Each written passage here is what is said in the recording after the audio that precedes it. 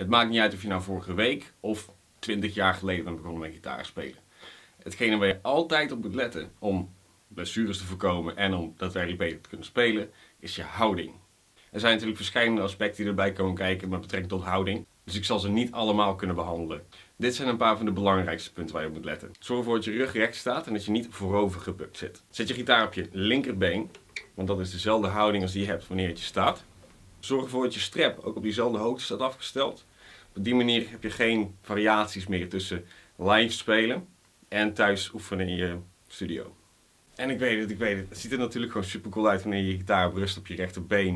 Maar dit zorgt ervoor dat jouw pols in een hele vreemde hoek komt te staan. En kan dan duur blessures veroorzaken. Wat ook een nadeel is dat je vingers nu niet zo ver kunnen spreiden. Maar wanneer mijn gitaar op mijn linkerbeen staat, hebben mijn vingers daar absoluut geen moeite meer mee. Zorg er dus voor dat je pols in een neutrale hoek staat. Je wilt dus niet je pols naar voren duwen of er een overdreven hoek in zien te creëren. Let ook op waar ik, dat ik mijn duim plaats.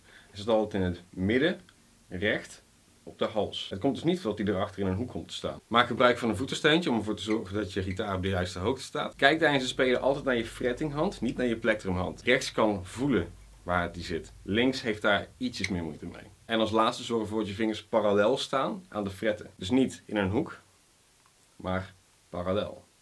Mocht je meer Engels gesproken content van mij willen zien, dan kun je kijken op Fret Vibes. En heb je interesse in een 1 op 1 gitaarles via Skype, dan kun je kijken op de onlinegitaarles.nl. Dankjewel en veel plezier met oefenen.